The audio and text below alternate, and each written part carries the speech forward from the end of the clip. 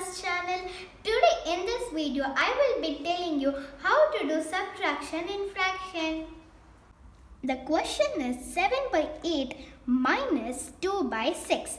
Now I am going to subtract using butterfly method.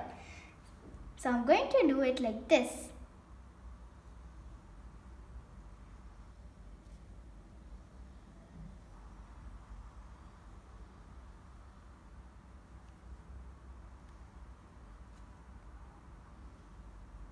Now we have to multiply 7 into 6. 7 into 6 equals to 42.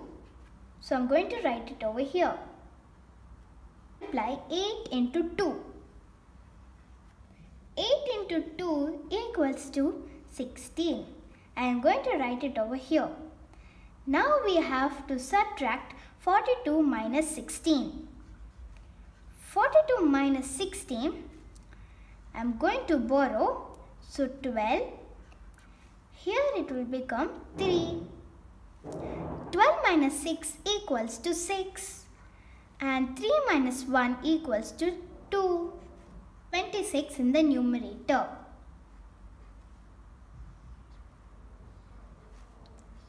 Now I am going to multiply 8 into 6 so 8 into 6 equals to 48. I am going to write it here. Denominator. So the answer is 26 by 48. Now let's draw the butterfly.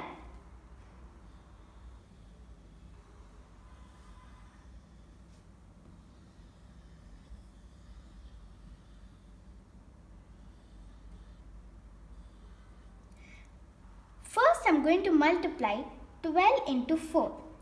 12 into 4 equals to 48. I'm going to write it here. And 5 into 3.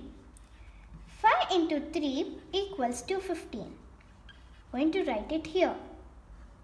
Now I am going to subtract 48 minus 15. 48 minus 15 minus 5 equals to 3 and 4 minus 1 equals to 3. The answer is 33. Now I am going to write 33 in the numerator place. Now I am going to multiply 5 into 4. 5 into 4 equals to 20. So I am going to write it as the denominator. The answer is 33 by 20. Now let's draw the butterfly. So like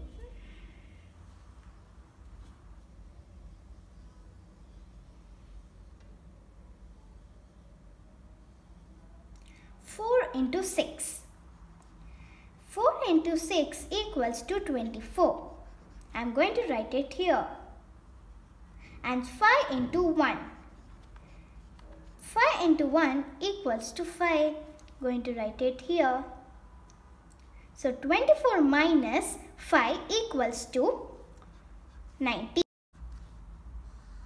Now I am going to multiply 5 into 6. 5 into 6 equals to 30. I am going to write it here in denominator. So the answer is 19 by 30.